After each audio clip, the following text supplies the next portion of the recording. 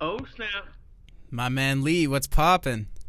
I'm doing good. You sound crystal clear. I like it. I like the new studio. Hey, thank you. You're looking skinny. I don't like it. What's Hey, I don't fit. I'm skinny fat, Lee. You know how that goes. No, I don't.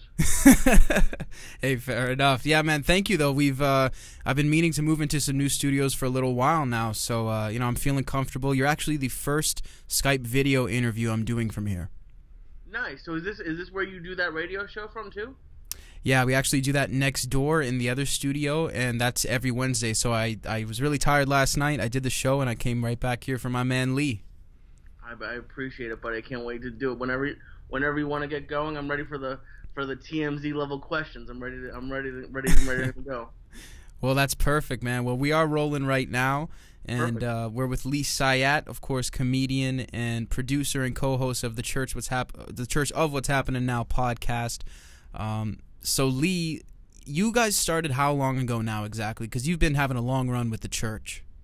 Right. Uh, the podcast is gonna hit six years in September. Believe it or not, it's crazy. Crazy, that's insane. And when you started the podcast with Joey, your role was sort of the producer who kind of was on the sidelines, who didn't talk. Is that correct? Not real. I mean, kind in a way. Um, when we started, Joey was doing a, another podcast with another comedian, and uh, we had the idea to do one early. I was working nights, Okay. um, and when I first talked to Joey about it, I wanted it to be sort of like Bill Burr, and I would I would be there to do the sound because Joey couldn't do that, but we would get we would have guests if he wanted to at six in the morning, but I didn't plan on talking. Right. and uh, he he didn't want to just he, felt like he needed someone to bounce stuff off of and he just said we'll get you a mic and we'll do it. So um, I was probably a lot less vocal than I am now but uh, it, yeah I, I, it was not in the plans for me at least to talk. Who knows? Maybe Joey had this planned all along but I didn't Right. Yeah. I mean, you know, Joey's a pretty pre-calculated guy, so that's that certainly is possible. When he first started bringing it up to you, did you feel nervous about the idea of being more in the spotlight, or did you feel like it came naturally? No, it didn't come naturally at all. I, I moved out here to be an editor. I worked. I've always worked behind the scenes. Um, I email. I, me- I messaged Joey because I love stand up comedy, but um, even before, so I've been doing the podcast with Joey for six years, but I've been working with him for seven. Right. And every once in a while, people would ask me like what I'm doing there, or, or uh, what, what, when am I gonna start stand up? And I would tell everybody that I I just didn't think I was that kind of funny, and I didn't want to do it. And uh, no, I was not. Nor I was not used to being in the spotlight as as little as I was in the spotlight on the. Um, it was more than enough for me, and uh, I had. I never thought that like because my dad was on the radio. My dad was on the radio for 20 years, Oh wow. and uh, I never thought that that would be where I'd go. I thought I'd be editing or somewhere behind the scenes producing or something. I didn't think I wanted to be on camera. Okay. Interesting. Did that spark part of your interest in editing? Your dad being in radio? Um, maybe. No, I've always I've always liked making videos and and all of that. And uh, then I went. My mom sent me to us because I don't know. When I was in school, I wanted to just spend my summers doing nothing, like Yeah. just chilling, watching TV, and my mom would never, wouldn't have that. So she sent me to a a bunch of summer camps, but one of them I took all the video editing courses of the, that they had. And it wasn't even video editing; it was production the guy who was teaching it was editing on this ancient system. I have I've never even seen it before. It was attached to a TV, but uh, from there, I went to high school and I just took every video course that I could to a point that when I was a junior, I was a TA, which is normally seniors. Wow. Um, and I just fell in love. I liked because I'm not I'm Jewish. I, I'm not good at building stuff or, or I can't even build IKEA stuff. It's not even just it's sad. But when, Maybe I'm edit, Jewish then. I'm sorry. I might be Jewish too then. Oh, dude, it, it's I wish we need we need someone with your with your uh, smile and your structure on our team. Um, but it's not it's not. I mean, you probably have it too when you're putting together all these interviews and all that. It's very it's very satisfying to take something from nothing and build it. And I editing allowed me to do that in a way that I was comfortable with technology, and uh, I didn't have to do with my hands or build like physically build something. So I, I just fell in love with it. Right. You know, that's a really good point. It's a very creative outlet, but it, it doesn't involve really any hands-on sort of exertion unless it's I guess going from area to area. And I think that that's also what what attracted me to this kind of thing. I'm, I'm not a sports guy you know so and I do like art but I like expressing it in this way. Um, so what was some of the first stuff that you first started working on? Were you doing like skit kind of videos or were you doing outdoor photography?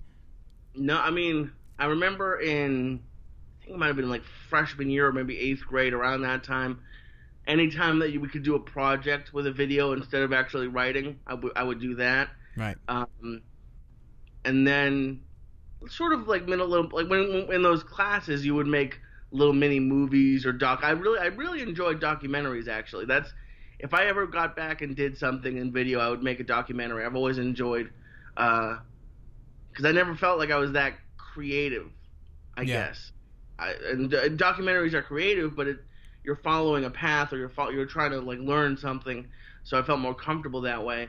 Um, but then when I moved out to LA, I worked mainly in reality TV. So uh, both ends of the spectrum. Yeah, most definitely. You got the fiction to nonfiction right there, or vice versa, I guess. Uh, the, I mean, some of it's still fiction. Some of it, some of it's real. But I worked on some stuff that was, it was reality scripted, and they had takes, and it was uh, very interesting, but it also kind of demoralizing. When you move out to LA, you think you're going to be working on the next Steven Spielberg movie in your right. head, but it, it, it, doesn't work like that. Yeah, I guess I, definitely not at first, for sure. What were some of the other things that you kind of were disenfranchised about when you moved to LA, if any? I, I got very lucky when I moved to LA. I got a great job with America's Funniest Home Videos. Um, they're a great people. They're very nice to me.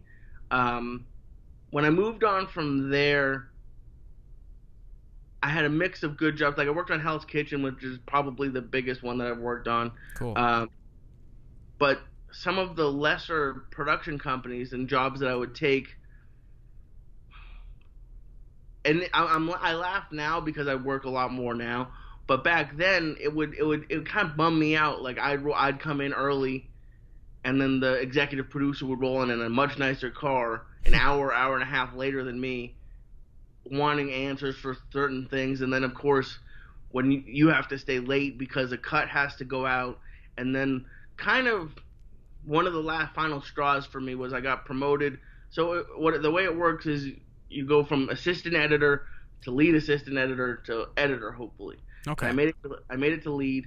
Um, and I got a call on a Saturday night, like we need you to come in. This cut needs to go to producers, which they never watch them. Maybe they do sometimes, but they don't. They're not going to watch it late on Saturday night. Right.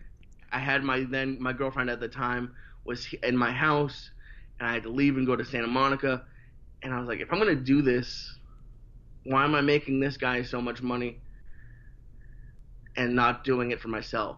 So that was sort of that was the last show that I worked on. I, I, I had been doing I did TV for close to three years roughly, um, and the last year and a half, two years overlapped with Joey, but the last year overlapped with the podcast. Right. And uh, I made the decision to just go all in and just do the stuff with Joey, and it's uh, it was scary. I mean, I in theory I took a pay cut, um, and a lot less um, what's the word? I mean, not nothing's ever really safe in TV because your jobs end every few months, anyways. But yeah, it's, uh, there's not that much security just going and working because who knows? The podcast could have ended eight thousand times, and then because I, I, literally, it was, it, it, I have I just always have weird timing. I went to a meeting to join the editors guild like the union for editors. And i, I had the hours put in because you have to do a certain number of hours yeah. qualify. And then right from there i basically just was like you know what? I'm just going to go and and try this full bore. And that was uh God, that was probably four or five years ago i would guess. So okay. it's been a, a crazy ride.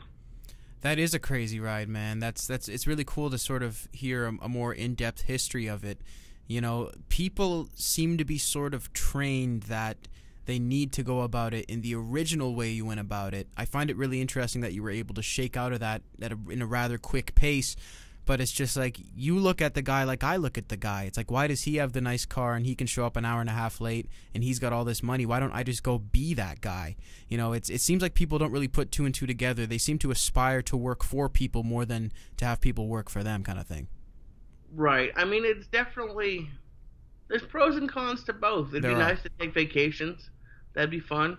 Um, I can see, like, once you get to the level of boss when you're working in a company, I can see that a lot of people kind of slack off or take it a little bit easier. Um, which, who knows? I mean, that could be fun to me. It sounds like because so when I first moved here, the like, America's Funniest, they were very nice Mhm. and me on for a summer where their show wasn't in production. It was on hiatus, but I, I was able to keep my apartment over my head. But I didn't have really much of anything to do most of the time, so I just that's how I messaged Joey. But I, I would just be stuck on Facebook, Twitter, ESPN, and after a while, doing nothing gets boring. yeah. It seems like, it seems like fun. It seems like it's gonna be great. Um, but after a while, you're like, there's only so much. Um, there's a, a one of the first CDs I listened to out here was uh, Kyle Kinane's "Death of a Party," and he has a line in it of going to his day job, and he's like, it's something to the effect of, uh, "I'm gonna challenge the internet to see how long it takes to bore me today." right. Yeah. Yeah, how long will it take for me to get bored of the internet today? And uh, it it's really quickly. So it's um. So, I mean, everyone's. I mean, I don't know about you, you, but you you've been doing this for years, so maybe you don't have it at all, and it, it's getting far less frequent now. But when I first started doing this, like every six months or something, I'd have a little freak out and and look at jobs or like, oh, what am I doing with my life? Like when Yeah. I first, I remember when I first uh, stopped working, I signed up for one of those sites where you can do, um, what what is it called? What those? were- Uh, It's like a survey. yes, thank you. Right. Surveys, and they'll pay you money. Right. But I did like four surveys, took a couple hours, and I got like two thousand points, which was nothing. It was like so I was like, you just you kind of panic a little bit, but um, it's I don't know. I felt this pressure when I was a lot when I was younger, um, that I was far behind, yeah. and I needed to catch up, and I was behind everybody else. And uh, the older I get, I realize that everyone's behind. Like there, there's not you can't really focus too much on on what you think everyone else is doing because you have no idea in reality what they're doing or, or what their life is like. Yeah, that's very valid. That's very true. You know, I have tackled that in different situations. Like with me, I think it mostly came out because I had like a really, I've had a really uh, sort of a come up that isn't by the book, I guess. And I have been doing it for a long time, but I've had a couple of points throughout that where I've had to rewrite the plot due to age or due to different things like that. So in that situation, it, it, like I have the experience, and you feel like you have the experience, and you're confident, and that will help you in your next uh, venture. But you're still having to build it from the ground up again. So that's the times where I feel that, where I'm like, man, like, you know, because because when I go for something, I shoot for the top spot. You know, I don't want to be uh, like a, a weather guy on the on the radio. I'm looking for that Ryan Seacrest spot. So with that ambition, I think comes that extra self doubt that when it does come out, you know what I mean? Absolutely. I mean, how old are you now, Cassius? 19. Jesus. Um, yeah, I, I think you did it. I mean, it's kind of hard because I think a lot of people probably listening to this are a little bit older than that, so it's not valid for everybody. But the great thing about the way that you did it is, is you had a lot of time where you're like, not that it it's looked down upon, but some, when you get older, like if I was 30 and still living with my parents, like that guy who just got evicted from his house in New York by his parents, Right. people you start seeming like a lazy bum. Yeah. But you you were a kid and you just you're like I'm gonna do this and do it a few different ways and see what happens and not that there were no stakes, but you you were you had the freedom to really explore what you liked and and you did a couple you did a Kiss podcast you've Mhm. done you've done so much stuff and um, it's really I think by the time you're 25, you're just gonna be, I don't know, like Ryan Seacrest is gonna be calling you, hey, can I get on your show? well, that's super kind of you, Lee. Uh, I really appreciate that, and I hope I hope that's accurate. Uh, let me go back with you just a little bit. You, you, of course, people know the story that you contacted Joey over social media. You were a fan of his. Um, this was the time, I guess, where he was starting to really blow up with Rogan, and, and he was becoming, I guess, more mainstream to the underground because the whole thing itself wasn't mainstream, but there was starting to become some consciousness. Um, do you feel like someone in your position reaching out on social media for a job of of that caliber? Because even the importance of a videographer and an audio producer uh, has gone up in the six years since. So, do you right. think you could have got a job like that through messaging Joey, or do you think with the amount of people, the volume of requests, something like that wouldn't quite be possible right now? No, I think it's possible, but it's. I think you have to be careful because I, I get emails, and I, I bet you have started to get emails. People will email and be like, "Hey, I want a job." Yeah. And and that it's a little bit. I don't have I don't have stuff for you to do. I don't have the money to pay you. Um, and I also I've emailed, I emailed other people. It's not like I I, I hit a pay dirt on my first message, but um, what I said to Joey was I'm I'm looking to work for a comedian or with a comedian, but I don't want to come off as creepy. Do you have any ideas? And Joey's one of the few people who are is great about responding to things, and he asked me what my ideas were, and luckily I had some. Um, but I also got very lucky you said. Um, oh, did we? Did I lose? Oh, we're back. Okay. Yeah. Um, like you said, I Joey was blowing up for the first time really on the Rogan podcast. Um, but he wasn't he wasn't so big that he already had people with him. Yeah. But he wasn't he wasn't also there's a lot of people who and and I'm a, I'm an open mic comic myself, so like let, us for, for let's just take me for example. If someone messaged me and said, "Hey, I want to do what you did for Joey. I want to do your podcast. I want to take videos and do all that," that would be great. But in reality, it's gonna take a long time. It's gonna take years to get these people to a place. So I got very lucky that Joey was, I don't know, probably close to 20 years into his comedy career he had a great platform on Rogan a bunch of times where they were just fooling around. I, I very, I mean, as much as Rogan is the new Tonight Show now, I, I, I am very nostalgic for the fleshlight days of, of the Rogan podcast, Same and uh, where it was just goof, a lot goofier and the stakes were a lot lower. Um, but I, I just I fit in at the right time with Joey, and then also the thing with Joey that he's told me a, a bunch of times um, is that he had other people who had helped him in, in years past. Um, but some guy, like one guy, was shooting something with him, and he only brought one one battery, and the battery ran out. Mm, yeah. And then other guys were like, "Hey, I'll, I'll, I'll, I'd love to come do this, but I live an hour and a half away by bus, and I don't have a car."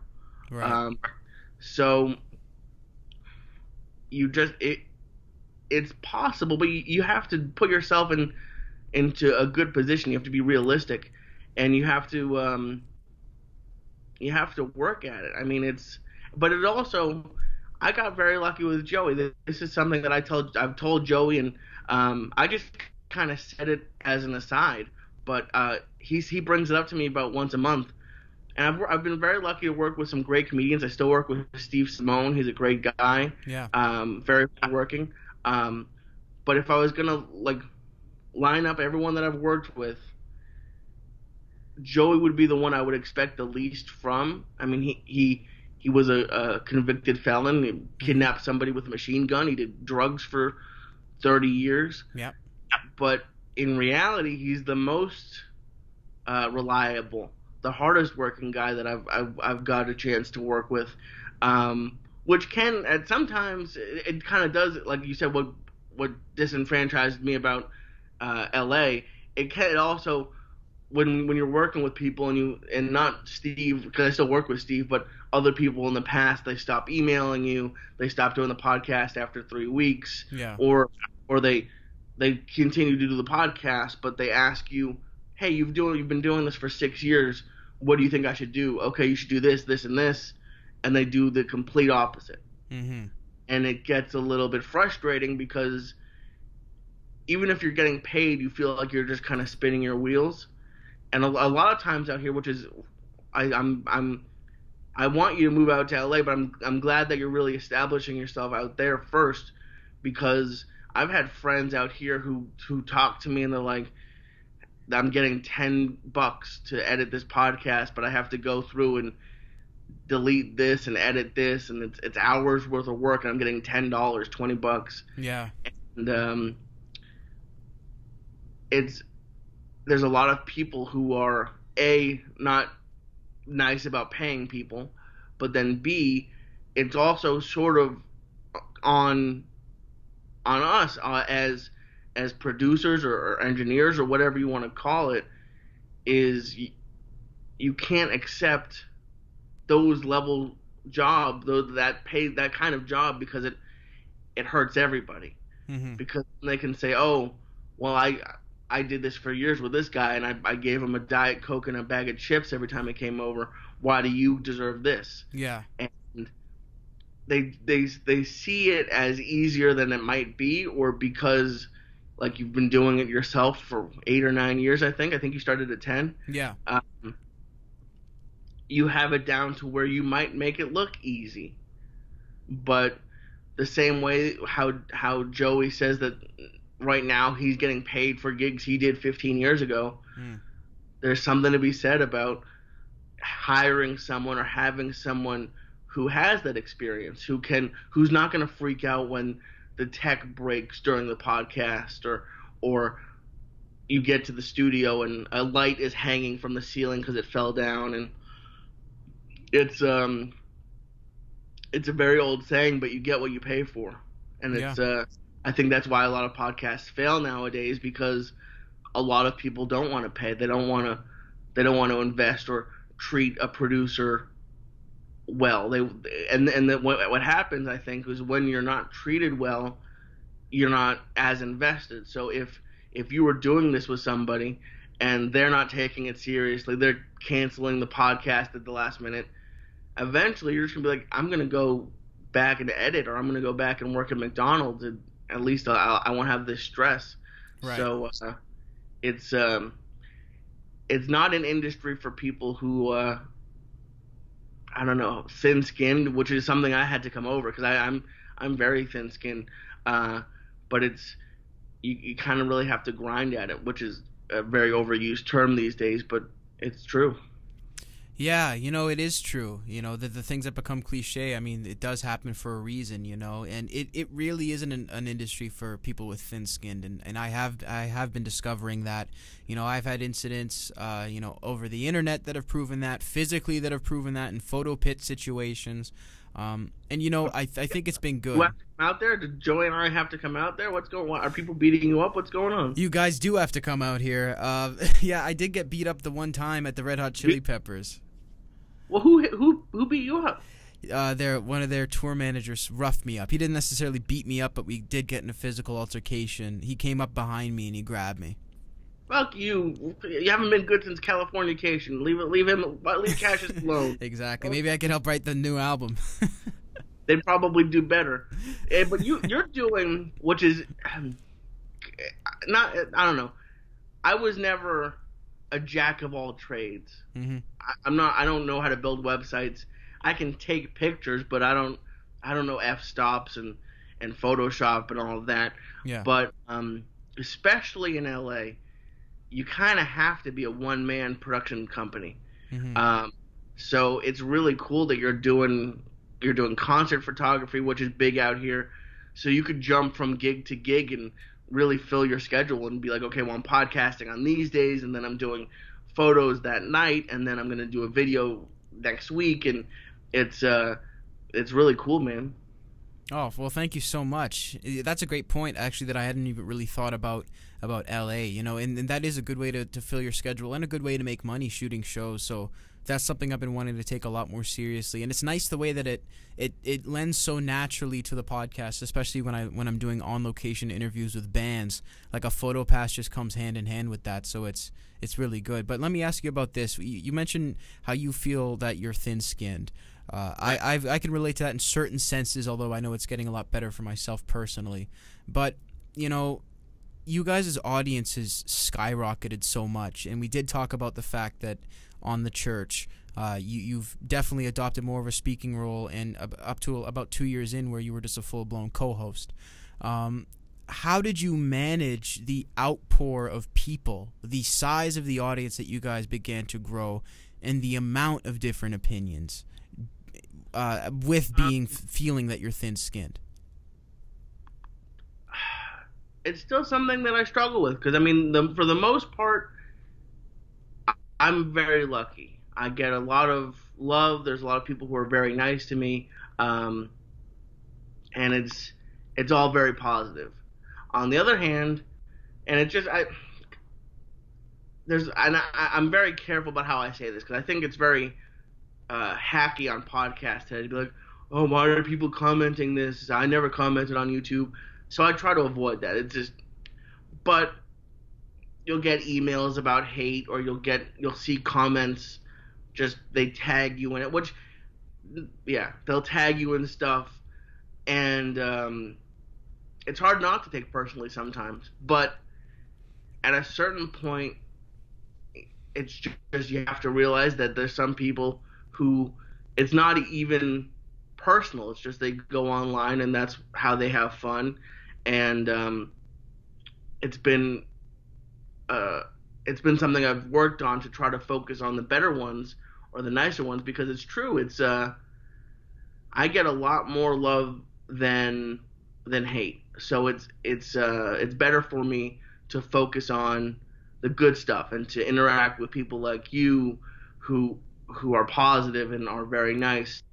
So um, that part is hard. Uh, the it's also but it all it also comes with nice things. It's very it's very nice to be on a date and uh, have someone lean over and say, "Oh, I love you so much," and and uh, it makes you look like a, a cool guy in front of a girl. I mean, at a certain point, I got tired of it, I think, but um, it's uh, it's very flattering to have someone come up to you after a show and want to take pictures and tell you, "Oh, I, I, I really enjoy what you do," and it it means a lot to me, and um, that part is that part is great. That part, I I know that I was never really a very social person.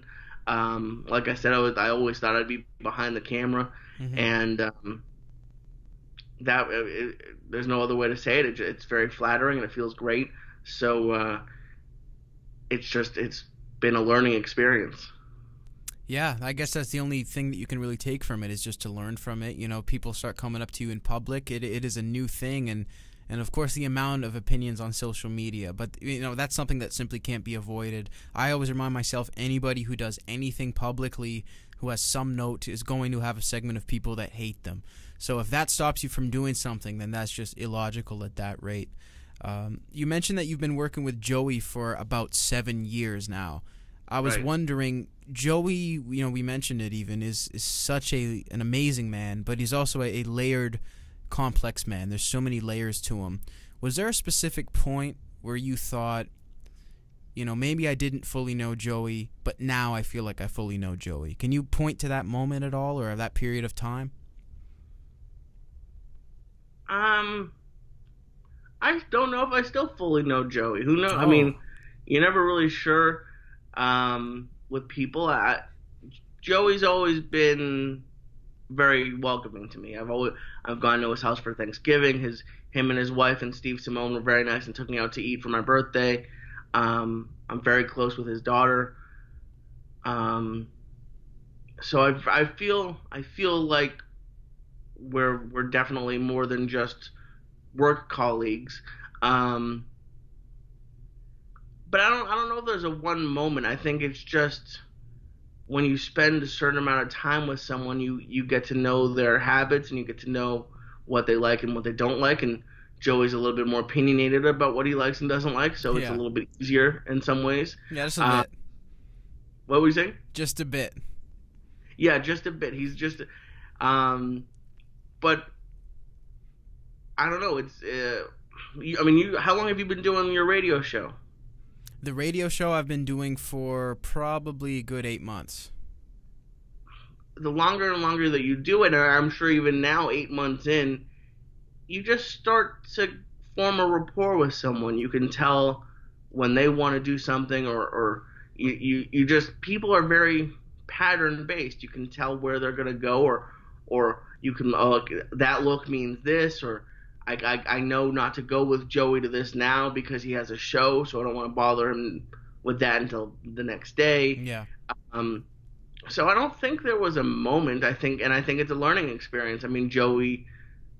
I mean, everyone's evolving, so uh, people change at all times. But um, it's really, it's just, and and this is the most frustrating thing I think when you're young, because it feels like time goes very slowly. But it's really just time. It's really just getting to know someone, figuring out uh, a way that you guys work well together or what maybe because who knows? I mean, there are some people who maybe you're just not meant to work with. Yeah. Your your styles might not mesh. So uh, I I've been very lucky that our styles mesh enough to survive for seven years. Um, because I hearing that when I first started working with Joey that he had people who would go in and out of working uh, with him that's not how I wanted it. That's not how I wanted. I didn't want to be just one of those guys who disappeared and and called him two years later, and I was working at a TV station in Boston editing uh, a local TV. Right. Um, so it's uh, it's it's really it just because I mean I'm not gonna say that I've every day of seven years working with Joey has been rainbows and sunshine. We we get into arguments and hmm he doesn't like certain some things I do and maybe I get annoyed at some things he does. Um, but there's I think that there's some respect. I think that there's love, and I think that uh, we enjoy doing what we do, and at a certain point, if you if if, if all that comes together, because nothing's ever going to be perfect, but if, if you can get it to a point where it's a well-oiled machine, he doesn't feel like I'm stepping over him and and and, and monopolizing the pod his podcast and and he lets me spread my wings and try different things. Um, if it's it's a relationship, as as as weird as that sounds, if if if you can get a relationship to a point where you're not butting heads, where you work well together and you gel, it's um it's a very rare thing because I think a lot of people these days quit and and and and don't put in the work that it needs to be. And it's uh it's it's refreshing to like I said to have my best client be a a 50 year old Cuban who spent time in jail that, that I would have never that would not have been what I was looking for on ZipRecruiter. That wouldn't be it. So you can't you can't guess. You just have to uh, go with the flow and that's that's a very hard part for me is going with the flow. I'm I get nervous. I want to have things kind of mapped out. Um, but the older that I get, the things that I plan, not that they don't go well all the time, sometimes they do go well, but like the decision to go full time with Joey, I didn't really labor over that for a while. Hmm. I was doing TV stuff and I was just paying my bills, and it got to a point where I could pay my bills. I thought with the podcast, and the podcast was reaching up, was kept growing and growing, um, and I just sort of made the decision. Um, and those decisions tend to work out. As as weird as it sounds, and and, people hit bad breaks Yeah. all the time, so not everything's gonna work out. But I'm someone who overthinks everything if I can't, there there will be times if I if I'm hungry and I want to get something delivered, I'll spend two hours going back and forth on every menu, trying to figure out what I want. Mm. Um, so I have, it's been something that I focus on is trying to just do it. Just don't don't sit there and work out every single scenario because then who knows maybe you flash forward 10 years and you're still working that job. Maybe I'd be editing and still getting grumpy that that oh that producer's coming in late and I'm I'm nowhere different and my life has stayed the same. So uh, that that's the crazy part is just going for it. As, as as terrible as that sounds and as scary as it can be sometimes you don't need a plan. Sometimes the plan will come along. I mean, Yeah. it, it's good to have an idea of where you want to go, but there's there's no possible way to plan everything out. As much as we want to, it just doesn't work like that. You're very right. You're very, very right. You know, it, it was really eye opening for me the other day. I, I did an interview with uh, Buzz Osborne from the Melvins, and Oh. I was sitting down with him, and I he was just talking about how he moved to L.A. when he was about 14, with with like no money in his pocket, just the normal story. Uh, and I asked him, "Was that hard for you? Was it hard for you to make that decision?" And before I could even get the question out of my mouth, he just said, "No." He said, "I, I did it the second it crossed my mind." He said it just was the right thing to do. And you know, it, it's interesting how everybody who has that drive for their passion in that way, it seems to to mostly work out. But that's always if it's meant to be. It's and I, I understand what you're saying that the whole going out to LA and rolling the dice like that. While if you're talented and if there's evidence to show that, it will work in a lot of cases. But it's so risky. Well, it depends really on what working out means to you. I mean, when I moved out, I moved out to LA. I, I interned out here the summer before I graduated, and I took online classes so I could graduate six months early. I was just so anxious and energized to get out here, and I thought I'd be editing. Yeah. Um, and it, that's just not where I ended up going. So it's not not that it when when when when, when I hear works out in my head, I think in three years you have a mansion in Beverly Hills and uh, you have a chauffeur. right. Um, it's not it's not all going to be easy and it's not all going to be great and there's going to be valleys and, and, and dips to the to and there's going to be highs. Mhm. Um, and the highs might not be as high as you th- were hoping because when you daydream, you think about getting 40 million downloads an episode and Mhm. President Barack Obama was coming on your pod. Um, Joey said something on on the podcast we just did with Bobby Lee, where he said he got a little bit uh, too focused on trying to be John Mulaney in a way, to Mm. to be a writer like John Mulaney's a writer, and he said I can't do that because I'm Joey Diaz and Bobby Lee's Bobby Lee, and we're all different. And I think especially with social media, what and it's very interesting for me. I feel like a lot of people maybe your age and a little bit older are essentially social media managers now. Like they they're very it's true. they take it very seriously and even if it's not intentional, you don't want to post something that makes you look bad. hmm It's not really what that's not our first uh, idea. So, like for me, if I go on to Facebook and I see the friends who I went to school with buying houses and and going on vacations to Italy every three months, and um, it would it, it, it would get me down a little bit. But then I remember this one of my friends who was posting those videos and taking trips to Ireland, this and that, called me one day and asked me to borrow a hundred bucks so she could pay her rent. and I was like, okay, this is not not everything is how it seems. Right. Um, not everything is how it seems, and I, I'm very lucky. I don't really have credit card debt. I live very much within my means. Um, I'm not really saving anything, but I'm also not jetting around and and as much fun as it might seem to go on these vacations. What's the point of going on a vacation if you're going to come back and be three thousand dollars in debt? It doesn't Yeah. really seem. I'd rather I'd rather sit at home and watch Netflix in my underwear with the AC on and not, not be accruing all this debt.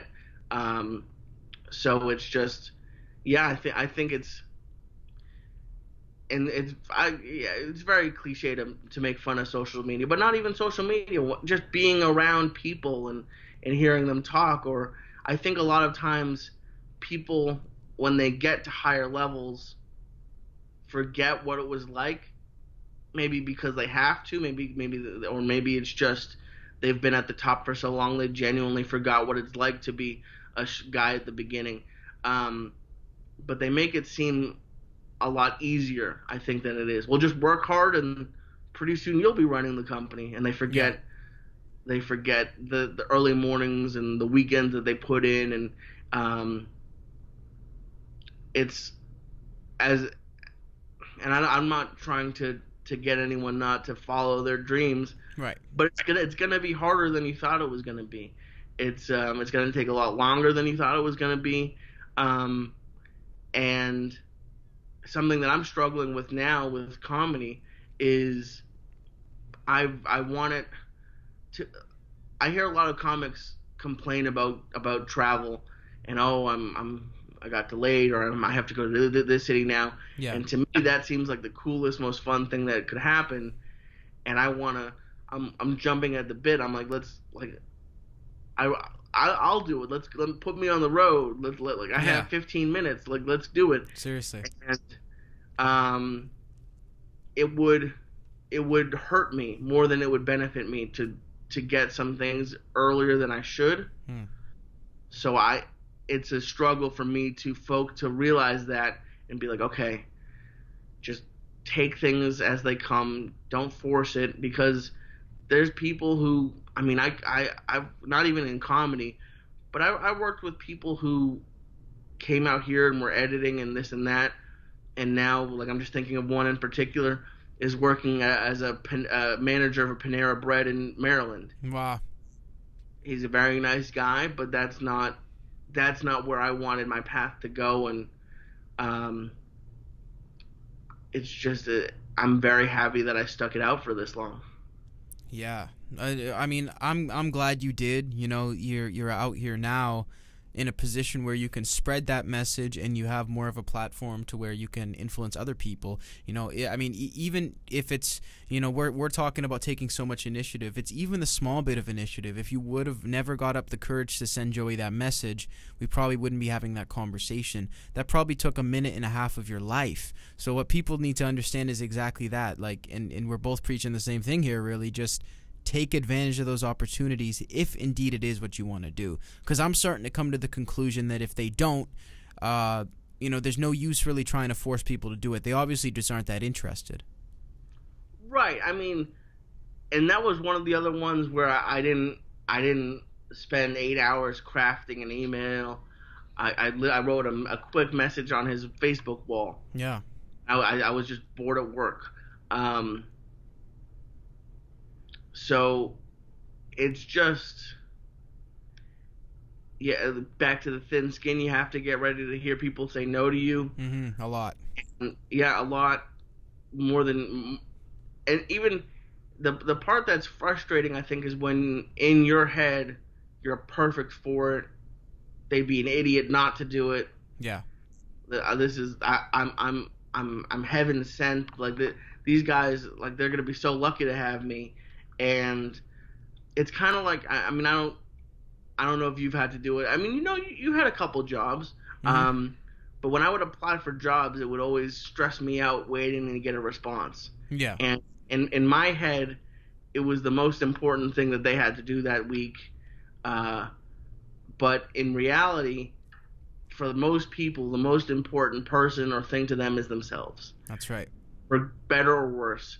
So you can't you can't focus too much on oh this guy didn't respond to my email or or this guy said hit me up in six months or he said no thank you and that means I have a terrible idea.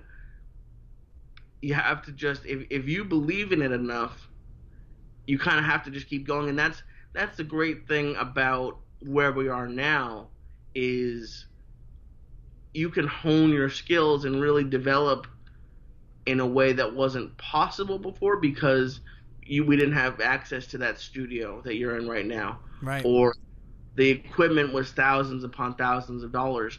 Now, if you have a cell phone, you have a podcast studio. Yeah. Which is, um, especially now with Anchor, something like Anchor coming out where it's totally free. Um, if if if you want to do it, you can do it. It might not have the sound quality that you were hoping, and you might not get the level of guests that that that Joe Rogan gets. Mm-hmm. But uh, you're not supposed to. As as as hard as that is to realize, because you know you don't want to. It's hard to admit that you're you're still learning or that you're you're not at that place yet. You always I don't know with self esteem, whatever you want to call it, self confidence. Yeah. You want to believe that you're the man or you're the woman, and just give me the chance and I'll, I'll kick ass. And you might, you might kick ass, but imagine how much harder you'd kick that ass in four years with Yeah. more experience under your belt and more contacts and uh, the one like the thing that going back to comedy is uh, I've heard there's a lot of people who are at my level who don't have someone like Joey to ask questions Yeah. and I see them going down to the comedy store or the improv and um, spending hours in line to maybe go up on an open mic and they don't even get up. Hmm. And the thing that that Joey's taught me is, especially now with the internet, when when you're at a place where you're supposed to be there, they'll come and get you Yeah. whether whether I mean it's a little bit different in the real world where you're applying to jobs, but you can. There's a lot of people who, oh, I'm not going to apply to that job. It, it, it's below me or it's above me. It's an, an email is free, so just send it to them. Let them. I I I uh, I went to Emerson College for Mhm. college, and I I didn't have a great GPA because when I don't when I don't have interest in something, it's hard for me to focus on it. I get kind of bored easily. But I I thought I wanted to go to Emerson, and I found out the guy's name who was reading my application because they were stupid and had it online um, for the areas, and I emailed him once a week and just said hey, and he some a lot of times he wouldn't respond, and I would just say hey, I'm I'm looking forward to doing this. I'm looking forward to uh, to coming and spending time in, on, on campus and this and that. And I applied early action, um, which is being like, if, if you let me in here, I'll I'll come. And they deferred me again to coming in January instead of September. Um, but in reality, I don't think I would have even gotten that far had I just sent in the application and let things happen. So you you have to be so you you started this off by saying do you think someone who sends an email these days could get a gig like that? Yeah. I think it's going to take more than one email. I think I don't think one email to a comedian being like, "Hey, I want to make videos for you" is going to do it. You might have to keep emailing the guy and be like, "Hey, I made this video at my local comedy club," or "Hey, here's a a podcast that I did," and just keep you in that person's mind Yeah. because I mean that's that that's the e- that's the easiest thing is when when you're in someone's mind when they're finally ready for you you're they don't have to go through 8000 resumes or Exactly. they don't have oh I have I have my buddy Cassius he's been messaging me for 8 years and I finally have something that I can use him for yeah. and you might have felt like, oh, I was wasting my time doing all this, and and I shouldn't email him. You don't you don't you don't want to abuse it, and you don't want to annoy someone. Right. You don't want to send an email every day just telling them about stuff, but every three months, send them something. Hey, I like this. Here's something I made. Here's what I'm doing, and you'll just stay relevant. Yeah. Yeah, I think that's a really, really good way to go about it. It's it's the same thing with interviews. You know, I'm out here trying to build a podcast, and you know, the fact of the matter is that a lot of the guests that I'm trying to get would be hard for Joe Rogan to get.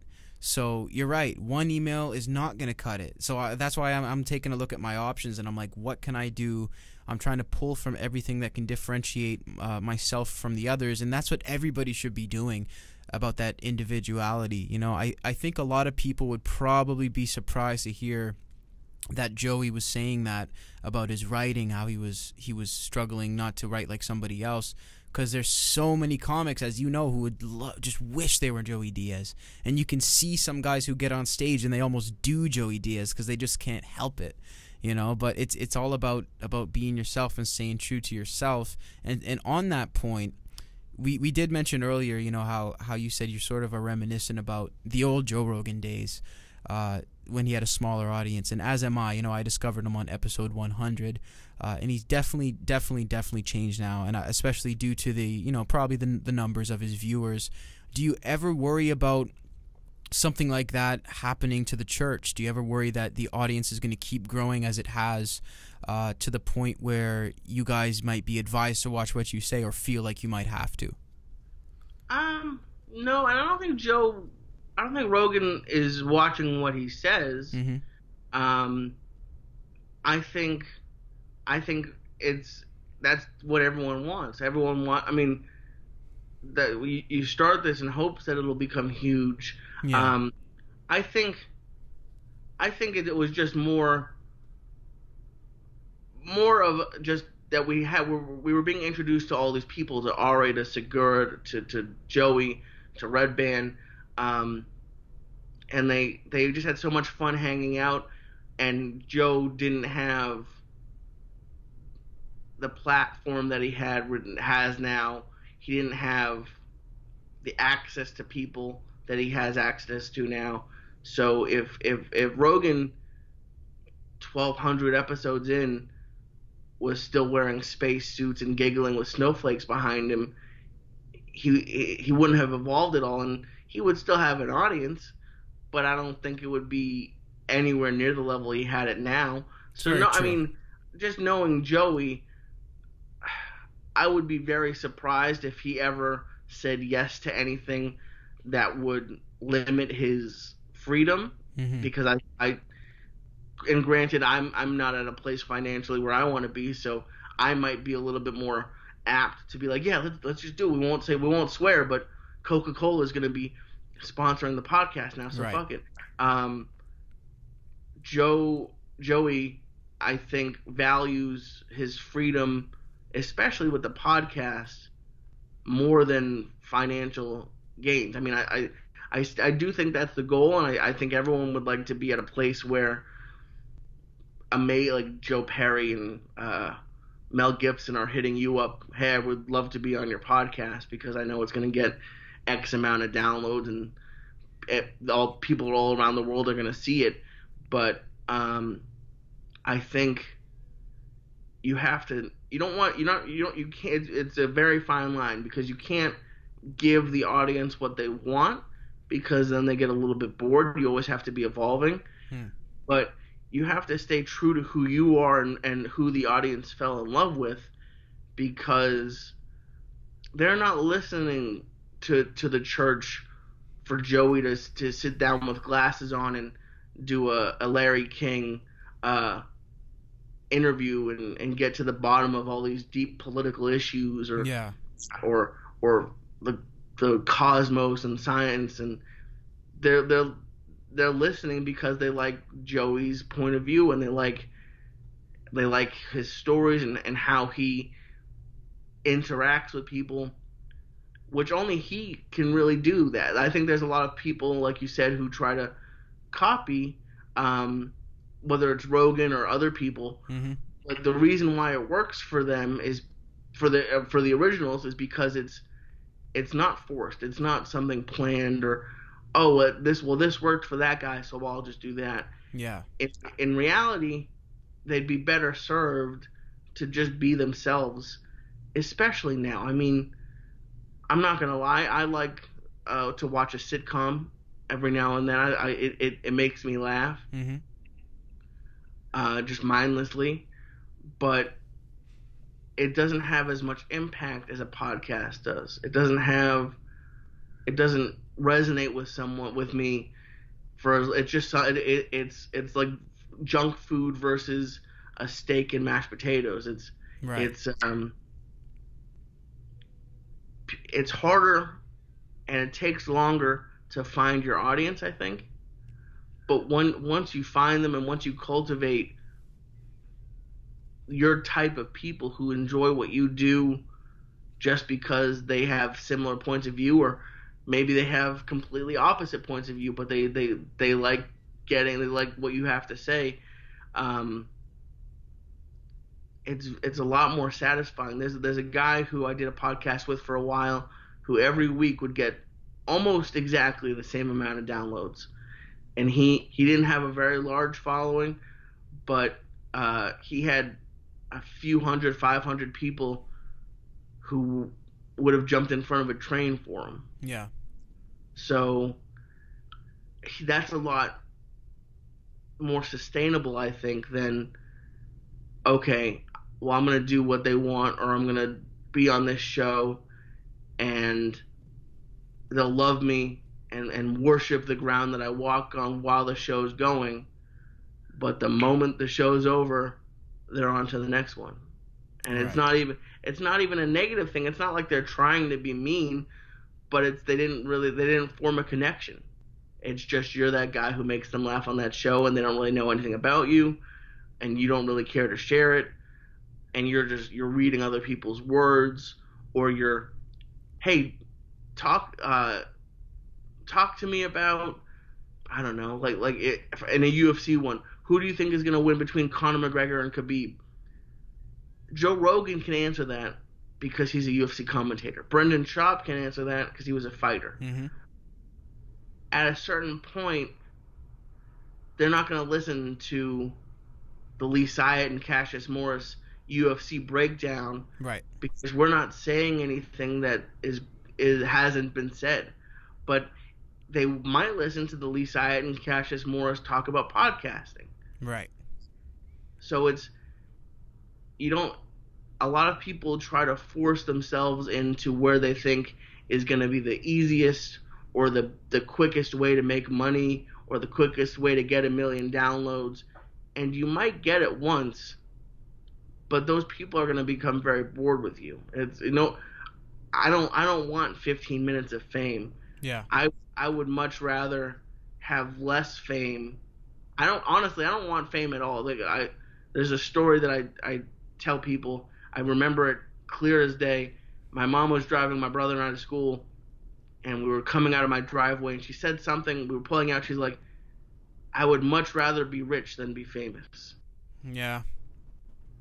It's true. And that stuck with me. And yeah, it's um obviously money isn't everything, but I would much rather be at a place where I'm comfortable financially, where I have access to way more people than I ever imagined having access to um, in my life. But I don't I don't necessarily need to be the number one video on YouTube. It would be nice, but uh, like we were saying earlier with the with the love and the hate, the more visible you are, the more you invite in. Yeah. And I don't really I'm having a lot of fun taking edibles with Joey and, and giggling and and being who we are and growing our audience at a much more relaxed pace and, and actually and, and and having people who are with us because they, they genuinely enjoy us and love us and and just it's more like hanging out with friends as opposed to hey this is the tonight show with jimmy fallon and he has this guy on because he has a new movie to promote Right. and they're they're gonna talk for two minutes but he already knew what questions he was gonna ask hmm and it, it just gets I, to me it gets boring It does, and you know you can you can smell how disingenuous it is right through the television, especially when it's a guy like Jimmy Fallon. You know the fakeness, and you know that's what's so refreshing about a show like The Church. It's it's so it, it just captures exactly what we've been discussing. You know, you guys are so truly yourselves. You're you're honest. Um, and I, you know, I think it's you know, you know that it's just it's done a fantastic service for so many people around the world. Uh, real quick before we end it off, I want to know: Do you remember the highest Joey Diaz ever got you off edibles? Honestly, it was probably early on, um, because at a certain point, I'm still getting high, but when you first start taking edibles or smoking weed, like I remember once in my first apartment in LA, I had all the lights off and I was watching the movie Friday on my laptop. And I could see the bad like I loved the movie Friday, but I got so high that I could see the acting and my li- literally my eyeballs were vibrating. it was one of my very first experiences with it and I mean I I've done we've kind of cooled it down in the past 6 months. There was a point the most I've ever taken was 3,000 milligrams. Oh my god. Way more than I, any human should ever take. How are you alive? but it's kind. Of, your body kind of shuts it down at that point. Like it, it, it, you like now I'll get higher on, and this is still more than a lot of people take. But if I take 400 now, like I'll, I'll really get cooking, and it's it's a lot of fun. Um, but no, it's kind of hard to to pick out one point just because we've done it I think we we we just went over 600 episodes. I would say less than 15 of them have been without edibles. I think wow. it's probably less than 10. So it's it's I've had a I've had a lot of edible training, as they say. Yeah, Joey's been giving you your training. What is it with Joey and the edibles? I know he loves to smoke his weed. What is it about the edibles? Does he ever say, or is he just set in his ways? Well, I mean, what he just likes getting he just likes getting stoned. I just I, as uh, stoned as you can get. Yeah, he. I mean, he still smokes. He he does everything. Uh, right now, he has a couple flies that he's he's putting through some weed experiments in a jar. Um, I think Joey. I mean, Joey's been very open about his his struggles with with drugs, and he uses weed as a as a a way to not have not have the urge to go back to those stronger things. He likes having a good. T- Joey's really. i have been back and forth on the age. I think Joey's like 13. like if if, if if if if Joey was like if you had a mental age, he's very smart. He does. He's very. He's great with business. Yeah. But if you were just gonna hang out with Joey, Joey's like a big 13 year old, and he likes not that if you're 13 you should be smoking weed. Um, with Joey. right, especially not with Joey. um, but he likes to giggle. He likes to fart and watch Bruce Lee movies and get and get stoned and, and, and laugh. I mean, I don't. We do it before the podcast. I think honestly, it probably started as a way for me to loosen up a little bit. Um, because uh, I was a much shyer, dorkier guy six or seven years ago. Mm-hmm. Um, but I just think he enjoys it. I don't, I don't, think it's anything. I don't think it's anything even really cal- like we were saying all that calculated stuff. Oh, hey, maybe we'll do a podcast where we take edibles and and that's the gimmick. It's not. It's not a gimmick. I think Joey would be taking the edibles if he was selling cars. I mean, a lot of the th- with him we'll finish a podcast and he'll start taking bong hits and be like, "You want another bong hit?" And no, I don't. I mean, I, I, I genuinely don't. I'm higher than than anyone should ever be, and I just think he likes taking bong hits. That's just he's very simple like that. You know, it's true. I mean, some people might think that since you guys do like he does the wake and bake uh, Periscope session, and then he just does the pre pre church session on Periscope, people might think it's planned. But I, I, guess you're right. My theory is that he doesn't do it for the camera. The camera just happens to be on, and it's just capturing Joey's everyday life. Uh, yeah, I mean, he's been doing he's been doing that for God, probably 45 years now, just yeah. smoking nonstop. Um, and I mean, obviously, when the when the periscope is on, he's he's interacting with the periscope, but mm-hmm. he's the same way. When I go over to his house, we'll go into his office, and we'll go into his backyard, and, and excuse me, and just smoke, and it's uh, we get higher. Like the other night, I went over, and he gave me an edible, and we watched uh, we watched The Odd Couple and watched some TV before I had to go do my spot. Mm-hmm. But he'll call me, he'll call me and just be like, "Oh, I found I found these expired Chiba Chews. I'm I'm going deep by myself on a on a Saturday. like he's just alone, just enjoys it. I th- I I think that's um, something that not a lot of people do is finding what you really enjoy, what makes you happy, and with Joey, it just so happens that getting blasted to the moon on edibles and smoking weed. And the crazy part with him is he can still function better than I can. Right. He can take all those edibles and smoke, and he'll get quiet and and he'll he'll he'll whisper a little bit. Um, and there, there have been times where he gets really high. He might fall asleep for a minute or two. Yeah. But Joey can still drive, can still get on stage, can still play with his daughter. It's um it's not he's not doing it to a point of really like obliteration. It's just he has the, the tolerance now where he's just doing it and he goes about his normal life like that like that's the part I actually got annoyed with him the other day because I'll I'll do I'll get home sometimes from the podcast like some I've passed out not passed out but fallen asleep after the podcast and I'll wake up at like two in the morning in the studio and I still have to put the podcast up.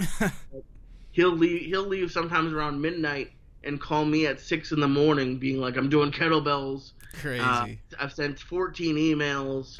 uh, Jews don't sleep, and and it that that I think that's where he really sets himself apart. Is it really sometimes will affect me the next day? Like not hungover is not the right word because I think hungover is a lot worse. yeah. Um, when you're when you're drunk and you feel sick, sometimes I, I just feel tired, and Mhm. who knows? Maybe Joey feels just as tired and and just forces himself to get up. I, I'm not as strong like that, um, but he does. I don't really ever see him take that day off after a lot of edibles. He's up the next morning and sending emails. Like if, if we looked at my phone, and it's been getting, it goes back and forth. We there was a, about probably about a year where like six in the morning, seven in the morning, the phone would be ringing. Just the stuff that like you pick up the phone, you're like, "Good morning," and he he's already halfway into "Wake up, you you lazy piece of like Jew, Jews don't sleep. You you should be at the bank already counting twenty dollar bills." I've already sent 17 emails. I have four I have four meetings today. Get up, and then he and then he'll call back 30 minutes later. Um, but it's as much as sometimes you're like Joey, pl- please stop calling me. It's uh, you can tell that he cares and that he's having a good time, and he's also almost like a parent in a way. Like you, you never want your parent to be right. You're like they don't know what Mhm. they're talking about. They're they they're, they're being crazy. This is Jew. Of course, Jews sleep. What is he talking about? Or or uh, but then a month or two later, you'll see what happens when you wake up early, or you'll see what happens when he just with him where he goes and oh well I went to I, I've been doing this and now I have this bit worked out or I have a meeting to pitch this now and as much as as much as you might not agree with his methods you really can't argue with the results Yeah, you know that's very true. He is world renowned as you know incredibly dedicated, hardworking. He's up earlier than everybody else, and you're right. You know he he- has to deal with those come downs. I'm sure from the edibles. You know I eat half a brownie, I'm crying for three days. You know, but you you still got to push through it. I can't imagine the amount of milligrams he's taken, but that's really cool. You know it, it must be just an incredible. Uh, experience just spending so much time with Joey. I think it's prime for a reality show honestly. You should take a look at that and you could edit it yourself. Well, I would. Um, I might be too high to edit it. We might. We might need to get someone else to edit it. But no, it's been. Uh, I would have never have guessed that, that this is where my life would be. Um, I am very lucky to, to have gotten to be mentored by, by him and, and just hang out and and laugh. And I remember. Uh, I remember when he told me that his wife was pregnant. It's uh it's just been a, a, a very crazy but fun journey. It's it's a lot more fun than being stuck in an edit bay for 12 hours a day. Yeah, most definitely. And now you're doing stand up. Yeah, yeah, I just started about 7 months ago. What's that been like for you? It's been great. It's been a lot of fun. Um, I've been very lucky that because of people that I've met through Joey, um, I'm getting asked to do spots on shows that someone six, seven months in probably wouldn't. Mm-hmm. Um, but it's also because I got someone got mad at me the other day because of that. Um, but it's also I'm very conscious of that, and I I don't I would never want an audience member or another comic to be like, oh well, he's here because of Joey, but he kind of stunk and and uh, we'll get him off as soon as possible. I, like when I first started going to open mics, there were people for months who didn't know what I did or who I worked with, and I, I did that on purpose because I um I very much want to earn it. I, I, I this isn't who knows. I don't I don't necessarily know if in ten years I'll still be doing stand up and be headlining. Um, that's probably in fifteen years or twenty. Um, but I I want to get what I get because I deserve it, and I want to get it. Um, I don't want to get pity laughs. I don't want to go up there and and and just get laughs because of they know me from from Joey's show. I want to go Joey up there. and- right? yeah, and really and really work at it. I mean, you worked at a comedy club for a couple years, it seemed, or at least a year. Yeah. Um, you've probably seen very good comedy, and you've seen probably a little bit of subpar comedy, and um, that I mean, especially with comedy, like that's why I hit Joey up, is I was just always a fan of stand up from the time I was a kid, and I don't want to put out bad comedy. I don't I don't want to just do it to do it. Um, so I'm really enjoying going and doing open mics. And we, we just had my buddy uh, Eric Rocha the last episode. He's a guy who I met through open mics, and um, it sort of coincided with my my breakup. Uh, I was with someone for four and a half years, and I just wasn't ready to get married yet. Um, and I I it was always hard for me to make friends. I wasn't. I'm not the kind of guy who can just walk into a room and start talking to people. I'm kind of shy Mm-hmm. but uh, it's given me a place to make friends and to be social. Um, sort of like what we were talking about earlier with the editing. Yeah. It's it's another form of that. It's another form of okay, I had this idea, and I I spent all day working on it, and then you bring it to stage, and then no one laughs, and then you're on stage, and you get a quick thought, and you say it, and the room explodes, and you're like, oh, okay let me take that back and work on it a little bit and and take it from just an idea to a place where now it's a five minute joke and I'm, I'm only seven months in. I mean there there are comics who have 20 minute long bits and 20 minute long stories. And the idea of doing 20 minutes right now to me gives me like heart palpitations. Like that's that's my goal for the end of the year is to get to a place where i could do a 20 minute set. Nice. um, but it's very satisfying and it's a, it's a lot of fun to to get on stage, especially with people. Like I just did a show a couple weeks ago at a detox facility. It's like where people go when they're detoxing from drugs, cool. and uh, it was it was cool, but it was um like they we had to start early because their drugs like their their medication starts kicking in around nine o'clock and they start getting sleepy Oh, um, and they had no idea who I was, and they who knows if they'd ever even listened to a podcast before. Um, but it's it really shows you if your material is funny.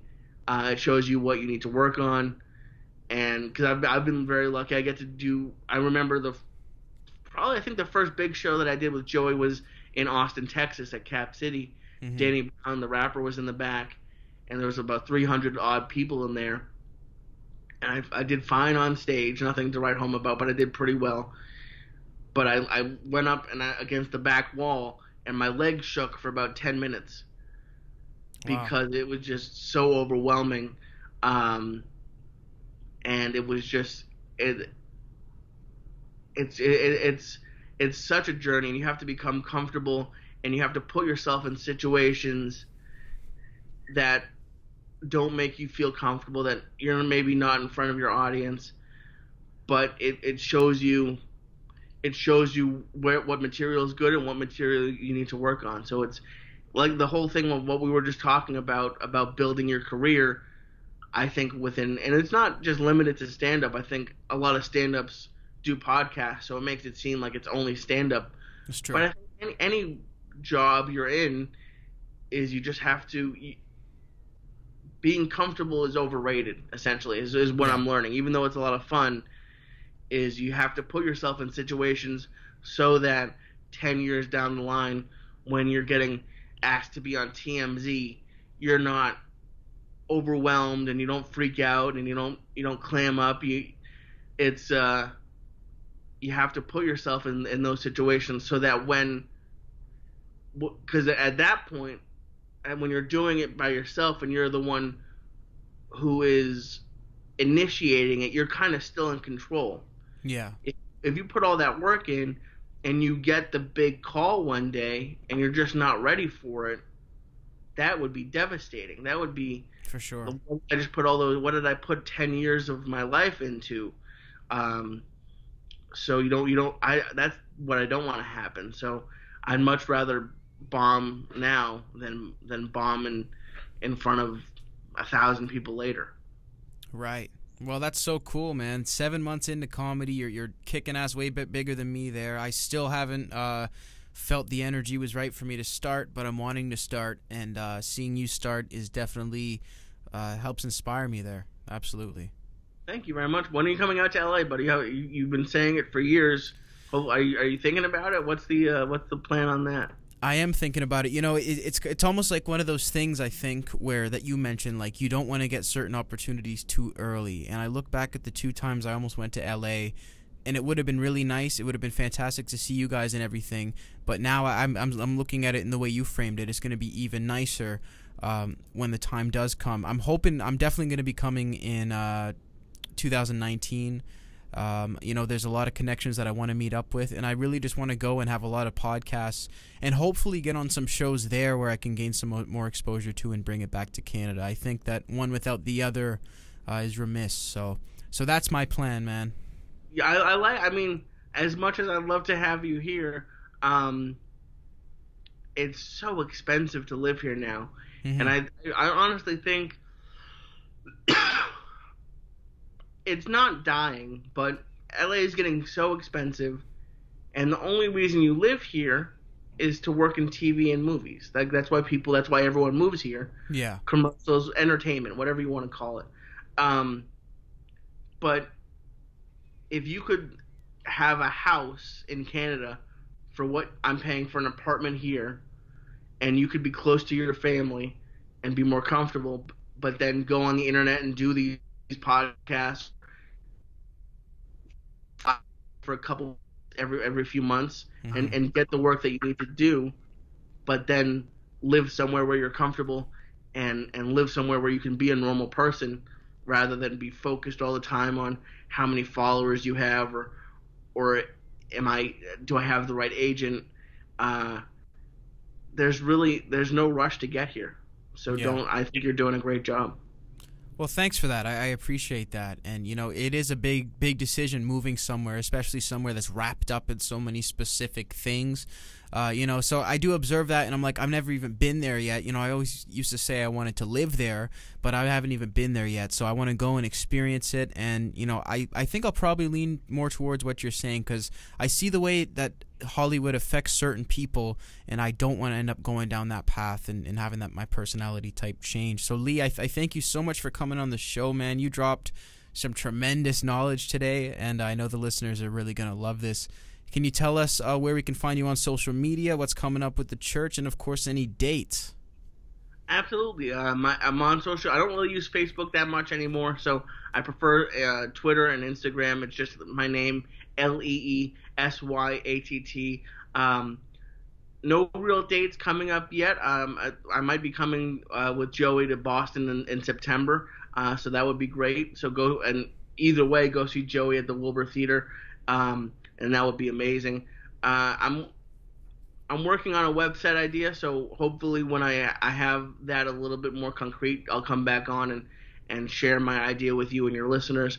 Um, but that's really it. Uh, as far as what's going on with the church and what's happening now, uh, if you haven't heard us yet, we've done over 600 episodes, um, and uh, we have we always have great guests lined up. I uh, I try not to pre-announce them because, as as you know, uh, Cassius, sometimes guests uh, change and and you don't and schedules get crazy. So we've had people like Danny Brown on, we've had Joe Rogan on, we've had Gabriel Iglesias on, we've had um, amazing people, and it's it's uh, it's a gr- I have a lot of fun doing it. So if you haven't listened to it yet, I'd love to have you. Yeah, absolutely. Highly recommended by me, of course. One of the shows that got me into podcasting. And Lee, happy belated as well, my friend. Thank you very much, sir. When when, when is your birthday? When do you turn 20? November 5th. And actually, on that day, the day after, on November 6th and 7th, Drake is doing two shows in my hometown. So I'm really hoping to be able to pull a podcast birthday kind of thing. You kind of look like you could be like Drake's little brother almost. That's good. You know, in Canada, with the ladies out here, that works well. So that's good. Oh my goodness, I can't even imagine. But uh, let's get let's get the word out to Drake. Let's get Drake on the on the Cassius Morris show. Yeah, let's holler at Drake. Hey Lee, thank you so much. We'll be talking soon, and uh, I'll send send you the link when this is up. Thank you again. Absolutely, buddy. Thank you. All right.